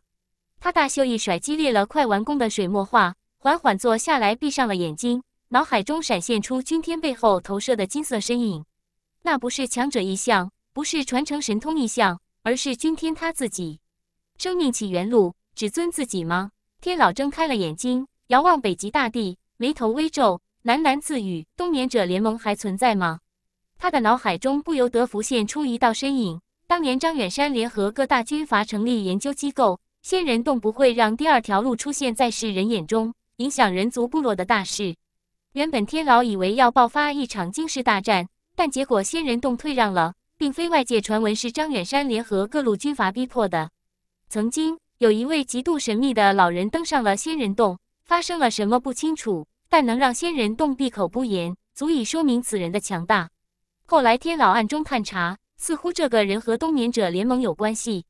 封王者还有其他的路可行吗？天老静静沉思。君天横空出世，背后到底站着什么样的人？能培养出这等盖世英杰，会不会和这个组织有关？原本他想要出手镇压了徐庆，查问出君天的根脚，只不过碍于兵老，只能作罢。仙人洞三十三重天仙府，蛮臣仙正盘坐在无上道府中，无比渴望梳理出三十三重天奥妙。每日损耗的资源是天文数目，毕竟要维系这等洞府运行，代价太高昂。祖上路已经胜出，蛮玄走来了，递上去虚空宝镜，呈现出君天与天元一战。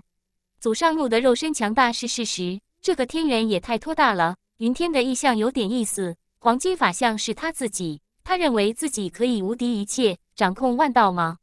可笑！蛮臣先摇头，不认同生命起源路。大道需要敬畏，才能收获大道洗礼。当然，这也是生命起源路与现实路根本上的差别。当年张远山的研究结果，他全部都阅读过。陈仙，该你出手了。祖上路神话需要终结。蛮玄说道。也不由得回想起数千年前仙人洞的神秘来客，脸色不由得凝重。天族不是要终结他们吗？蛮臣先皱眉道：“天族的圣血池里还躺着三位绝世天王体，特别有一位是雄关开创者的血亲，让他们出关不就行了？沉睡如此久远的英杰，一旦出关，损耗的代价太大了。”蛮玄摇头道：“你还是亲自走一趟，毕竟这一次超级大战你没有出手。”有些非议，这点很不好。天下人知道什么？我行事还需要向他们解释？蛮臣仙如同不问世事的仙人，整日盘坐在三十三重天无上道府中，神游太虚，感受祖先的伟大、至高大道的奥妙，不由得在想：宇宙之浩瀚，天老又算什么？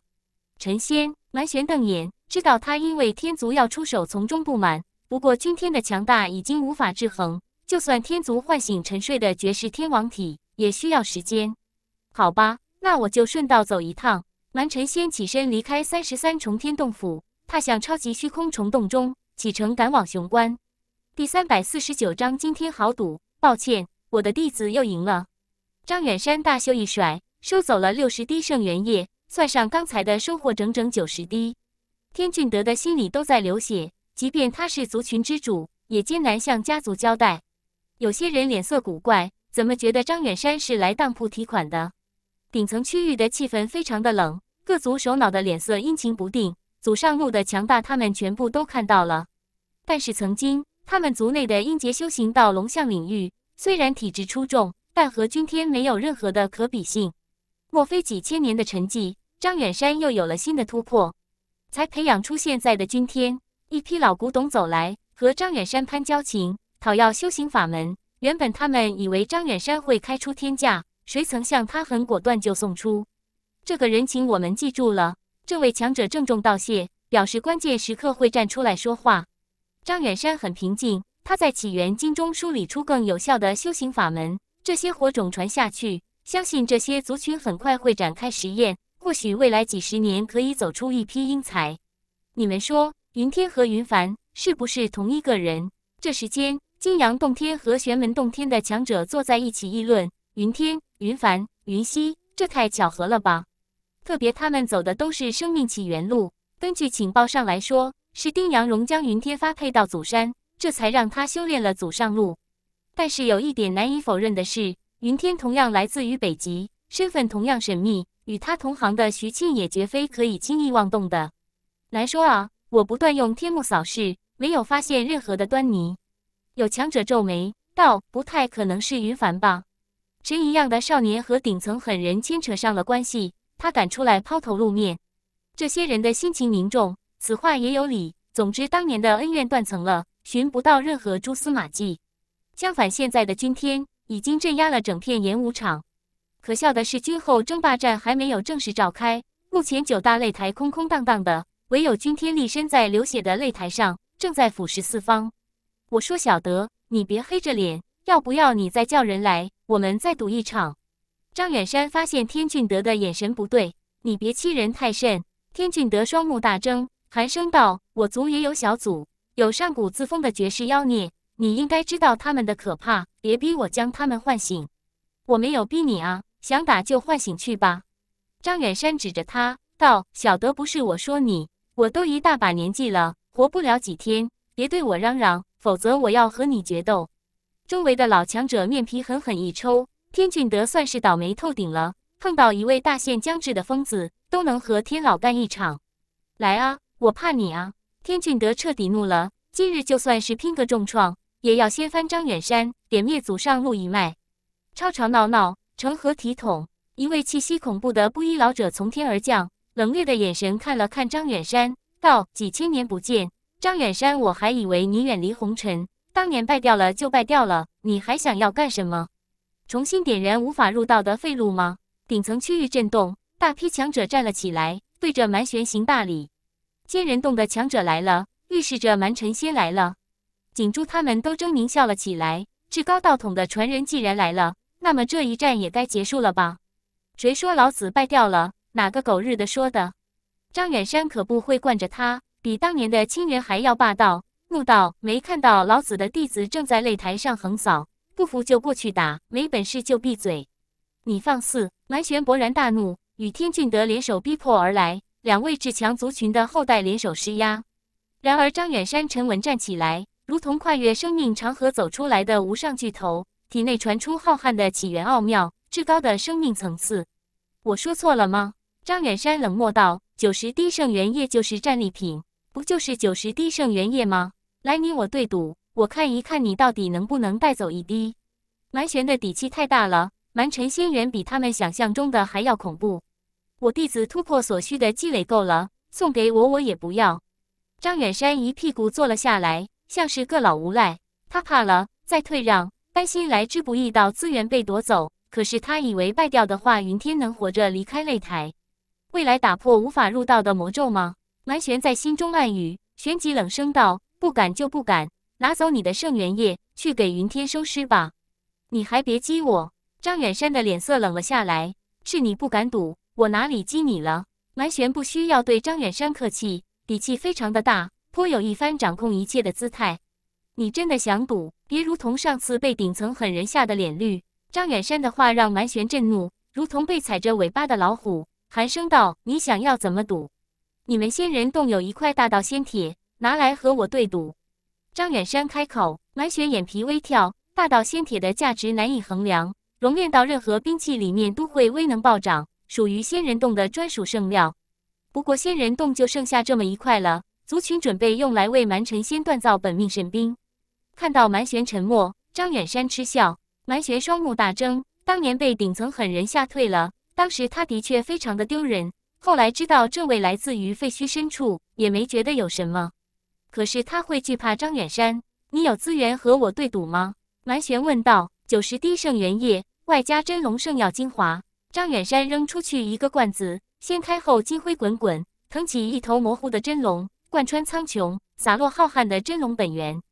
真龙圣药，这里的强者眼红的发紫。齐刷刷扑上去，像是一群老兔子，差点伸手抢夺。这老东西难道活出了第二世？天族老古董暗叫一声不好。张远山收获了大造化，炼化了真龙圣药，还余下八十滴本命精华。起先这片区域杀意滚滚，但当众人跟着想到了这点，全部都胆寒。如果真的活出第二世，在雄关谁能挡得住他？这些东西是好，但是蛮玄皱眉，因为还不够。他们有孕育圣元液的矿脉，还有完整的圣药，这些东西很难交易到大道仙铁。那就算了。张远山摇了摇头，道：“不敢就不敢，扯什么淡？”你蛮玄瞪大眼睛，死死盯着张远山，又扫了扫桌面上的资源。他确定这些资源绝对是留给君天入道的。如果真让君天活着离开擂台，后果很严重。他咬牙点头，同意了。这里的人都炸锅了。更有寿元枯竭的老强者频繁走来，与蛮玄攀交情，显然想等待蛮神仙赢下之后购买真龙宝叶续命。蛮神仙来了！此时此刻，一则重磅消息传遍演武场，短暂的沉寂继而爆发出滔天的哗然，所有的观众都疯狂了。天哪，蛮神仙真的来了！要和祖上路的英杰展开对决吗？还是顶层狠人一脉已经有弟子赶往雄关了？如果顶层狠人一脉、仙人洞一脉，生命起源路一脉共同展开对决，才是最顶级的。顶层狠人一脉没有任何消息。蛮神仙是要和云天对决，这是现世路和祖上路的最强较量，孰强孰弱，今日就可以揭晓答案。如此精彩的大对决，多少年没有诞生了。云天的强大毋容置疑，蛮神仙的无敌神话更不需要质疑。神话与神话之间的对决，大消息，神州阁忍不住了，开启了赌盘。整座雄关都轰动了，影响力空前绝后。祖上传人对决不败神话，传遍了大街小巷，深深牵动世人的心神。刷，雄关各方大批闭关的老古董齐刷刷走出，一批接着一批赶往顶层区域。雄关现任三大护道者皆是到场，东域各大古老世家得到消息，接冲而来。演武场的气氛已经攀登到了巅峰。来了！此时此刻，一位白衣白鞋的少年空灵绝世。身躯朦胧淡淡的白雾，漫步在天地间，体内时刻传递出仙人诵经之音。他来了，他终于来了！无敌神话能否打破？神州阁的强者嗓子都喊哑了，呼吁各方参与到赌盘中。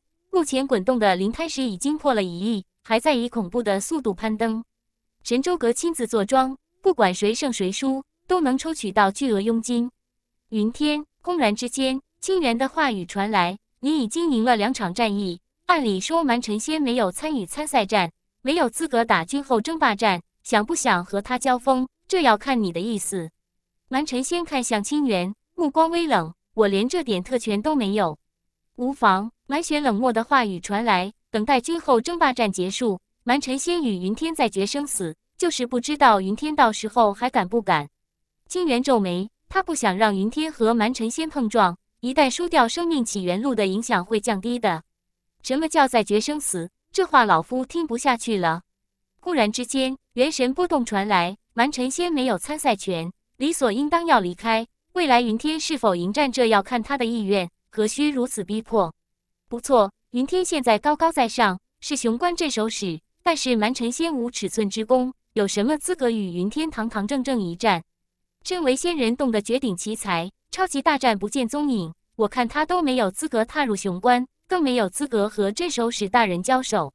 不错，什么仙人洞？最强传人却不能镇守国门，培养起来有什么意义？连四四四四一根手指头都比不上。接连有冷漠的话语传来，饱含某种恶意，不知道是谁在暗中传音，引起的轰动性很大，将蛮臣先推到了风口浪尖上。第三百五十章对决蛮臣仙。苏长青皱眉，这话听起来是贬低蛮臣仙，实则将云天抬得太高了，故意在这里拉仇恨。偌大的演武场有些沉寂。场中的雄关大将纷纷注视着蛮臣仙，他不仅没有参与超级大战，更没有参与反狩猎行动。这个毫无尺寸之功的蛮臣仙，世人是否对他太过神话？蛮臣仙是自古传下来的名号，不能代表他们代代都可以举世无敌。今天望向蛮臣仙，想知道他如何应对。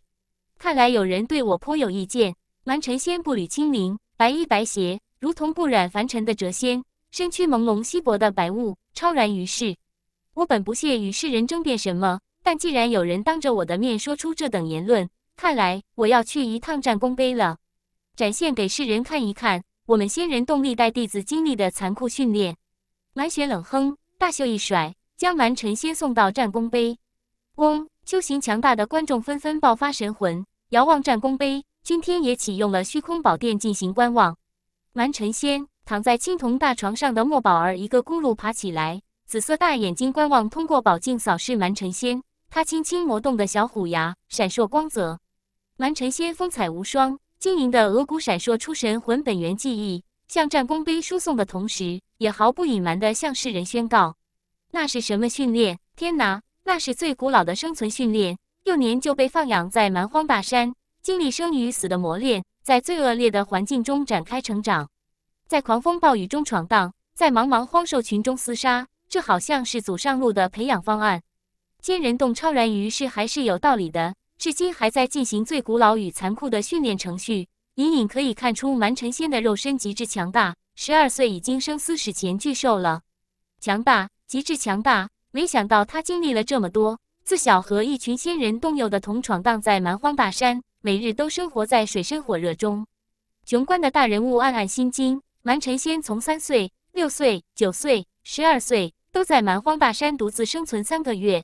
虽然期间有强者守护，但多数时间都是他独自闯荡。张远山，你觉得我们仙人洞的训练计划和你曾经的研究成果对比，谁更胜一筹？蛮玄冷冷一笑，蛮神仙自幼在无尽压迫中展开成长，潜质不需要怀疑，天赋更不需要怀疑。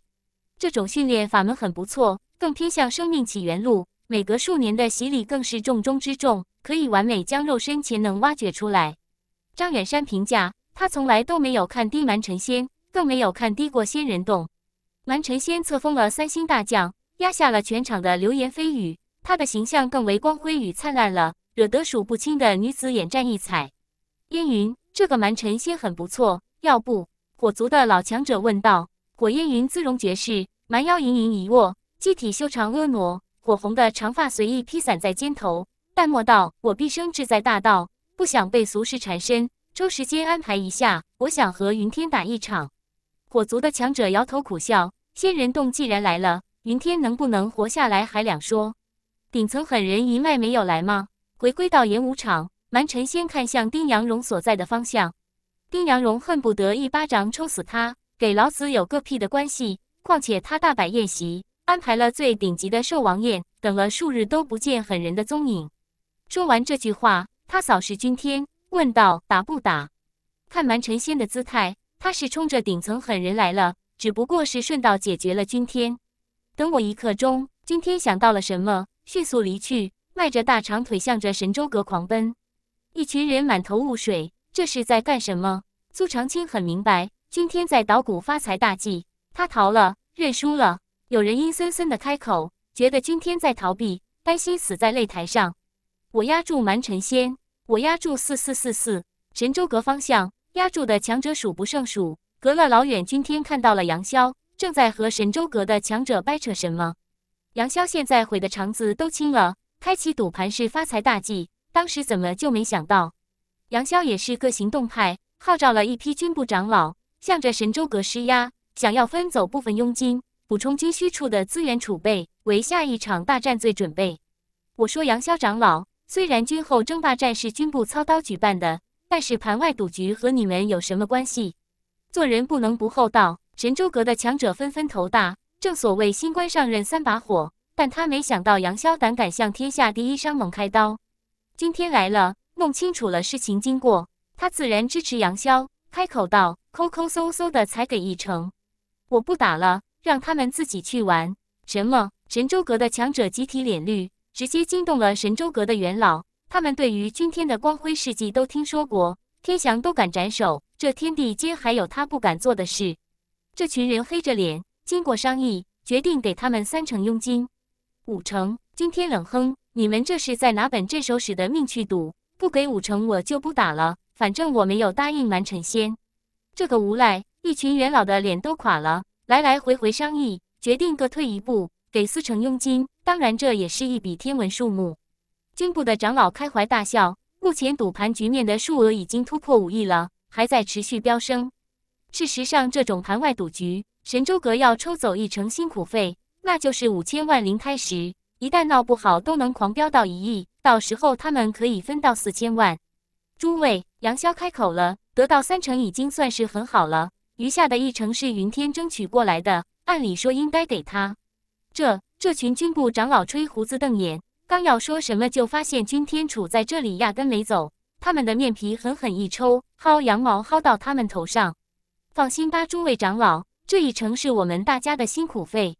君天意味深长开口：“这好好好。”十几位长老开怀大笑，一个个红光满脸，心想着这小子挺会来事。杨潇眼珠子一转。这事情办得漂亮，是不小的功劳。找机会给君天争取一个军需处的执事身份。杨潇长老，麻烦你帮我去压住。君天将第三战区洗劫来的资源全部交给杨潇，接着他转身迅速离去。压住！杨潇愣了愣，对着君天的背影喊道：“我说你要压谁赢？”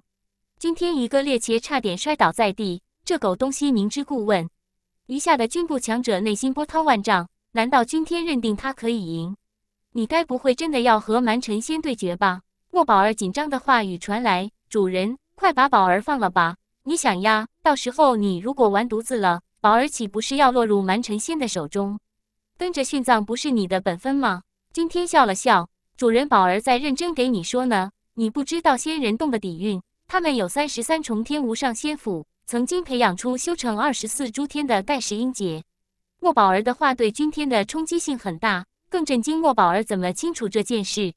因为曾经修成二十四诸天的无上英杰，被三大无上王族的绝顶英杰给联手毙掉了。莫宝儿话语严肃道：“那是一场超级狩猎行动，三大绝顶英杰联起手来，谁能匹敌？但就这样，还被第一代蛮臣先反杀了一位。事后，两位活着的年轻王者重创垂死，带回来了这则消息，言称仙人洞掌管不可测的底蕴。”三十三重天仙府仅仅只是其一。君天双目大睁，第一代蛮臣仙真够恐怖的，怪不得被誉为无敌神话。不过他越是有不可测的底蕴，君天越想和他较量一二。你不应该回来，刚回归到演武场，江凝雪传音过来，你算起来也是我爷爷半个弟子，就这样被张远山当枪使，考虑过还能回头吗？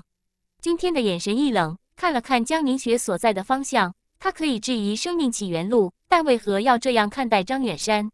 在江凝雪看来，张远山背负了几千年的骂名，肯定想要翻身，临终前辉煌上路。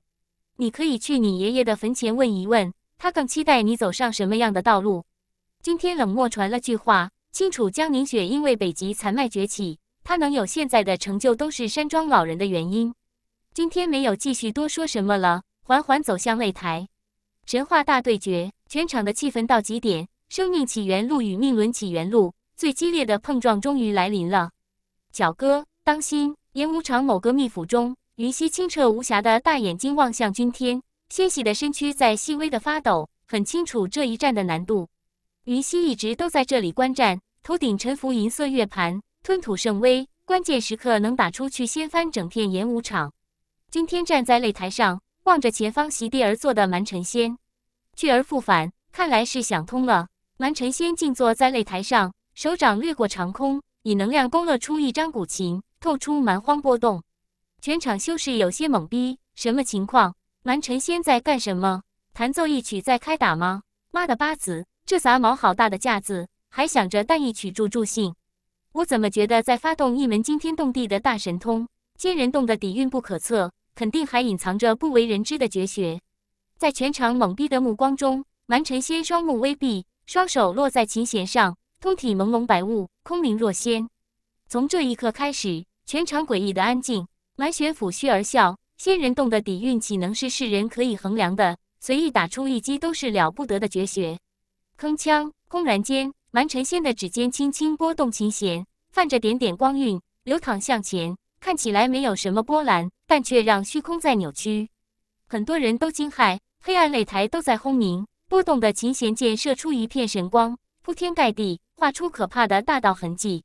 行家一出手。就知有没有？有人发出惊骇的话语，擂台景象迎来了大变，勾勒出神魔并立的战场，喊杀声滔天，都要撕裂人的灵魂。好强的杀伐，顶尖龙象惊恐，觉得每一道神光都能轰杀他们，如天刀，如剑胎，横杀而来。咚！君天向前走来，通体朦胧霞光，勾勒出圣炉投影，挡住了一道接着一道匹练之光。轰隆！蛮晨仙如世外高人，盘坐在擂台上，拨动琴弦，琴弦弹射出更为可怕的神光，在虚空中勾勒化作一头血色真龙，长达万丈，恐怖裂天。这是蛮仙创作的蛮荒谱曲，顶层有大人物失色道，唯有绝顶道恒才能激发而出。相传完整的蛮荒谱曲弹奏出来，如宇宙星海倾覆。